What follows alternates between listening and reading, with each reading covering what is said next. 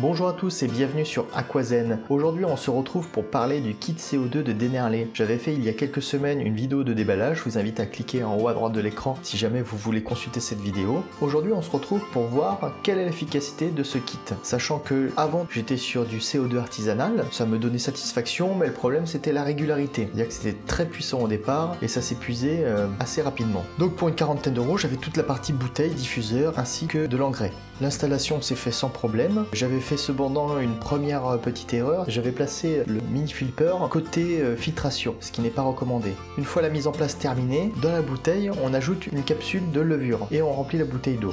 Cette capsule, il est dit qu'elle met 24 à 48 heures avant de s'activer. En ce qui me concerne, elle ne s'activait pas. J'ai dû retourner à l'animalerie, ils m'ont donné une deuxième capsule, c'est le protocole, et elle s'est enfin activée mais au bout de 6 jours de mise en œuvre. Autant dire que mes plantes faisaient la gueule.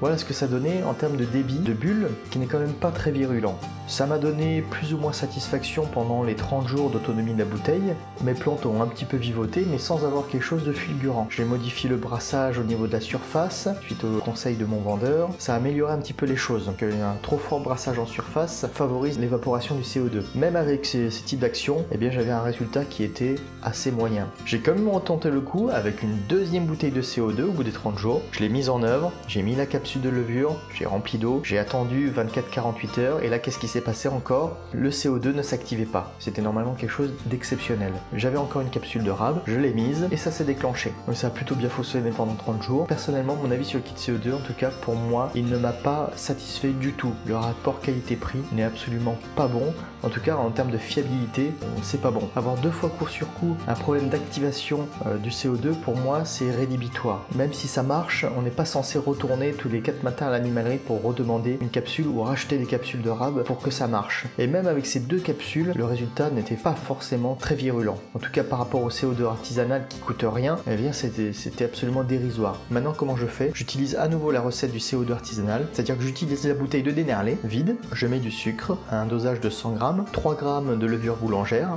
et je recycle donc le matériel avec notamment le mini flipper. Le résultat est très satisfaisant. En faisant comme ça, je renouvelle mon dosage toutes les semaines et j'ai ainsi un taux de CO2 qui est très bon. Donc, donc pour ma part, je suis très déçu du kit CO2 d'Enerley. Je sais qu'il y en avait beaucoup qui attendaient mon avis sur ce matériel. En tout cas, en ce qui me concerne, soit j'ai pas eu de chance, soit c'est de la daube. Je ne fais pas une généralité parce que j'ai vu d'autres utilisateurs qui semblaient satisfaits. Moi, pour ma part, je ne le suis pas du tout. Donc je suis retourné au bon vieux CO2 artisanal en attendant de trouver une autre solution. Voilà ce que j'en pense. Je suis désolé si Monsieur Denerlé me regarde, et qui n'hésite pas à me donner des précisions, peut-être que j'ai loupé quelque chose. Si jamais vous avez des éléments, que vous avez été satisfait ou que vous avez rencontré ce problème, n'hésitez pas. Quand même sur les forums, j'ai vu qu'il y avait pas mal de personnes qui avaient rencontré le même problème. Si je devais vous conseiller un kit CO2, je ne vous conseillerais pas celui de Denerlé. Essayez plutôt celui de JBL.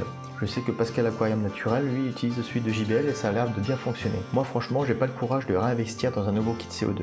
Donc voilà, j'en ai terminé pour aujourd'hui. Je vous remercie à tous et à toutes. Vous êtes de plus en plus nombreux à suivre la chaîne. Ça me fait très plaisir. Mettez des commentaires. N'hésitez pas à partager cette vidéo. Mettez des likes. Abonnez-vous. Je vous dis à la prochaine. Allez, ciao